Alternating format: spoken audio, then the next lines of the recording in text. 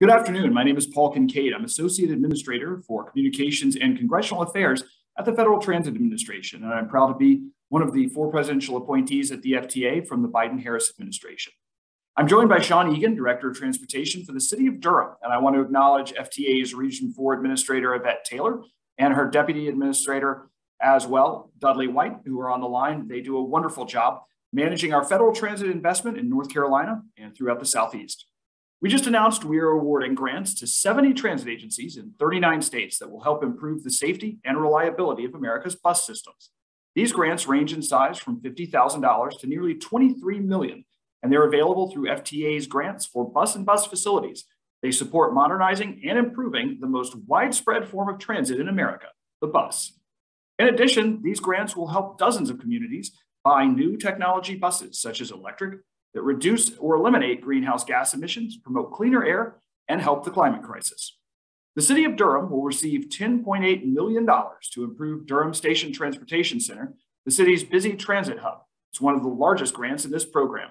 That hub has thousands of riders boarding buses every day, and these improvements will add eight bus bays and redesigned bus lanes, allowing transit agencies to add bus frequency while also improving safety.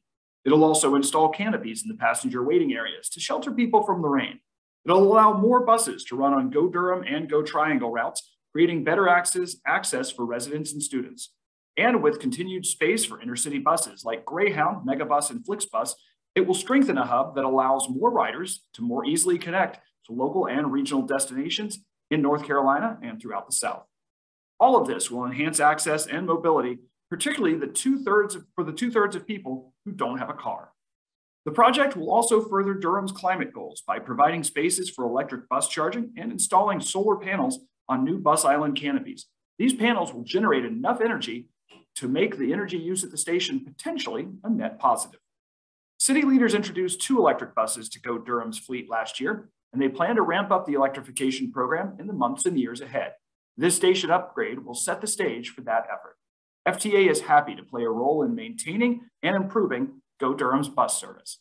In total, we're going to award over $409 million to improve our nation's bus transportation systems. These grants were announced by Secretary Pete Buttigieg and FTA Administrator Nuria Fernandez earlier this week.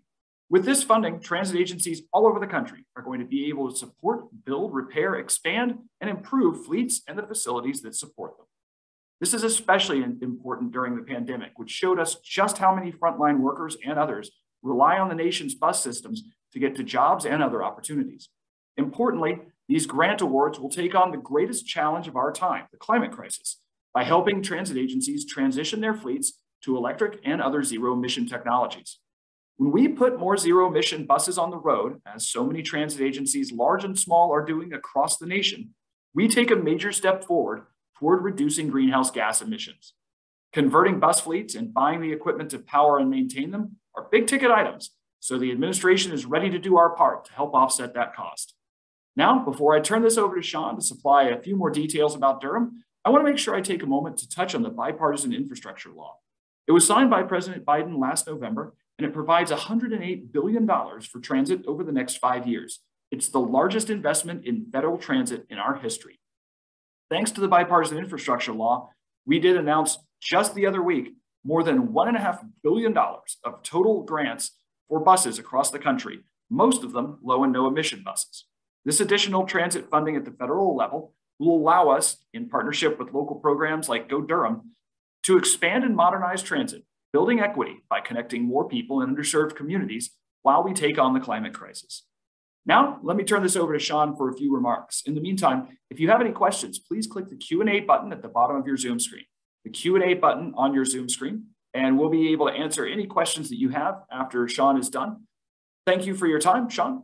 The floor is yours. Thank you so much, Paul. My name is Sean Egan. I'm the Director of Transportation for the City of Durham. The city is responsible for uh, the Go Durham bus and paratransit service. And we also coordinate regional and intercity bus offerings that operate out of Durham Station. Combined, all of these services offer 15,000 boardings a day at Durham Station. And we want to provide a high quality experience for our riders at Durham Station. So we began the planning process for this project by reaching out and engaging with our riders and asking them, how can we improve your experience at Durham Station? What we heard from them was they want better canopy coverage. They want to see uh, more of the canopy area so that they are protected from the elements. We're currently at about 20% coverage. This project takes us to 80% coverage.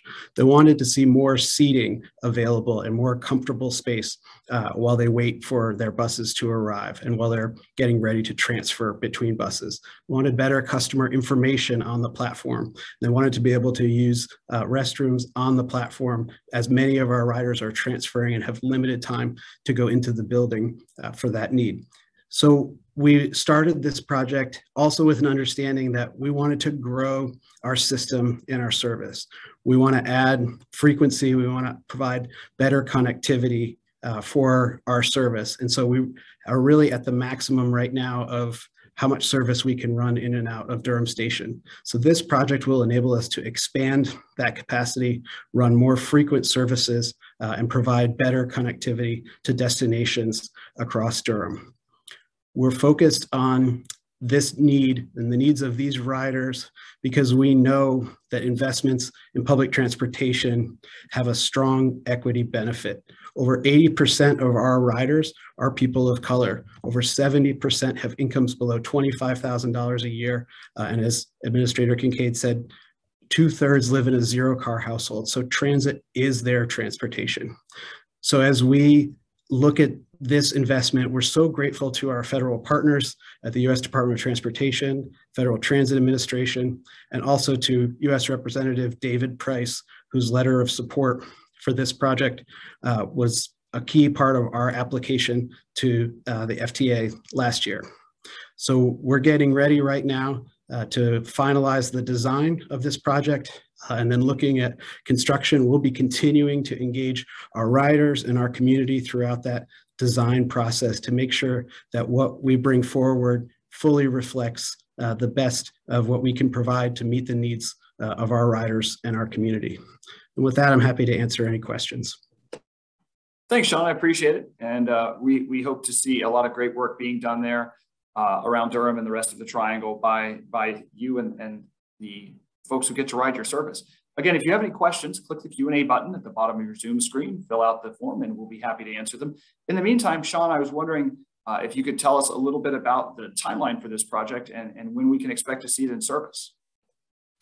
So we'll be undertaking the design of this over the next year, uh, and we really want to make sure with uh, our community that uh, the concepts that we've developed to date uh, really hit the mark. Uh, but assuming that we get that validation, uh, that we hear from the community, that uh, everything that we brought forward in the concepts uh, is uh, on the mark, then we could start construction in 2023 uh, and then look at uh, potentially completing construction by the end of 2024. so we want to move quickly. our riders have told us they want more improvements more quickly, and we aim to deliver this project to address that need. That's great. Kylie Marsh asks, how long will construction take for the new bus lanes and the canopies? But she also wants to know what the environmental impact of that construction will be.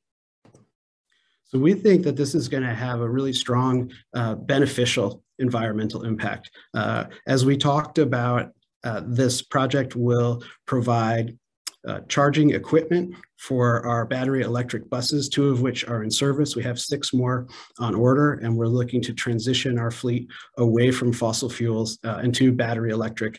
Uh, and the charging stations that will be part of this project uh, enable that transition. We're also adding solar panels uh, on the canopies uh, to try to collect as much power uh, from renewable sources as possible, uh, and even to have a net positive uh, impact, collecting more power from our solar panels uh, than we use to run our facility. So the overall environmental impact of this, we're really doubling down. We're taking uh, a sustainable mode of transportation, which is uh, our bus transit service, and then we're adding battery emissions, uh, battery electric buses that are zero emissions, and we're also adding uh, renewable energy to this. So the net environmental benefit should be very positive.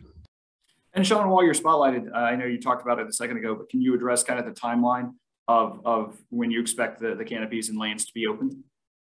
So we'd like to start construction in 2023 and complete construction in 2024. Uh, we know that that's an ambitious schedule, uh, but as I said, our riders have told us time and again uh, that they want their improvements delivered quickly. And so we'll be making every uh, effort to do that. Great.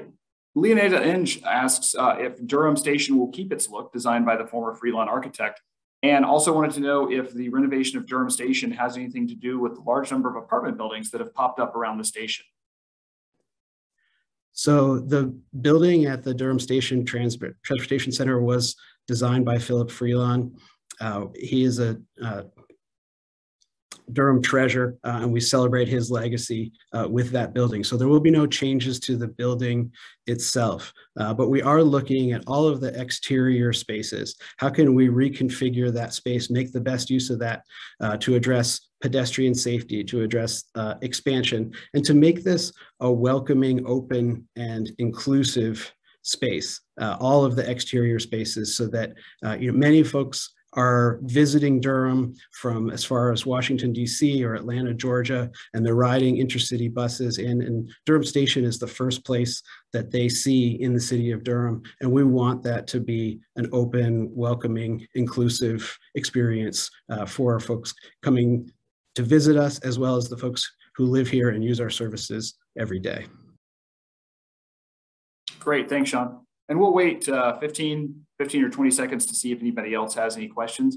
Uh, in the meantime, if there are no other questions, I want to thank Sean Egan for joining us today, as well as our regional office staff, um, Yvette Taylor and Dudley White. And thank you all for, for tuning in today to this Zoom to ask questions. If you do have any questions uh, as, as you write your stories or, or do your broadcast, please feel free to touch base with the folks who in, in, invited you to this session. They'll be glad to answer any questions that you might have.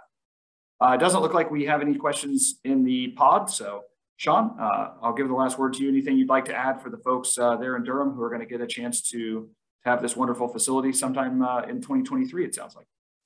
So we are so excited and so grateful for the support and partnership uh, of the federal government. Uh, and we think that this is going to be a project that you're incredibly proud of. Uh, we're going to make our community proud and really focus our investment uh, in uh, residents and communities uh, that have too often been excluded from the benefits of transportation investments, uh, particularly from the federal government. And that's something that we're, is top of mind for us, making sure that this investment really addresses those Justice 40 communities uh, that have too often been either underserved or harmed by transportation investments. And that's the focus of our effort is uh, intentionally benefiting those communities with these projects. So we're very excited uh, to be moving this forward and very grateful for the support.